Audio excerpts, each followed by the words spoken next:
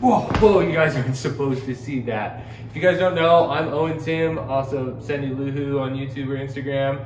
Uh, I've been waiting for this bike for a long time. I had the opportunity to ride it back in May with my Marin Bikes teammate Duncan Shaw, and uh, we filmed the release video for it in Moab, Utah and Grand Junction, Colorado. So anyways, enjoy the build video. I'm super stoked. Thanks to MRP for the fancy shred coat fork and also Wheels Manufacturing for all my shiny anodized bits and super smooth bottom bracket. Enjoy the show.